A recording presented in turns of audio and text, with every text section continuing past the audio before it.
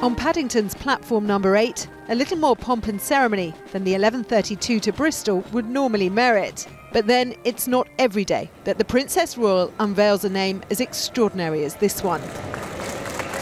Odette Hallowes, a French citizen and UK spy who worked behind enemy lines in France, helping to sabotage the Nazis.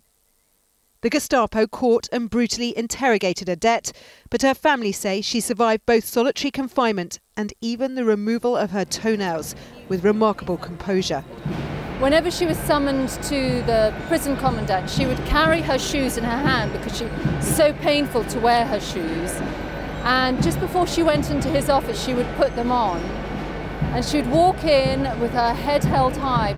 You should be more careful. You see, her exploits eventually immortalised in film. Peter Churchill, and he is a relation of the Prime Minister of England. But Odette, seen in the middle here, mixing with royalty at the premiere, had been just an ordinary mother from Somerset.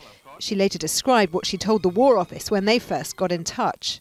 You've got the wrong person altogether. I don't want to go. I have my children, and they come before anything else and I am not capable of any um, of doing anything there. They say, no, of course not, not as you are, but you know, we would train you. It was this very railway line that would have carried her to London, where she joined almost 40 other agents. There are 16 symbols beneath her name, one for each agent that didn't make it home. In honour of every woman who served, today the 1132 ran with a female-only crew.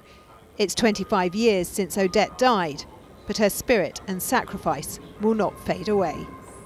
Rachel Younger, News at 10, Paddington.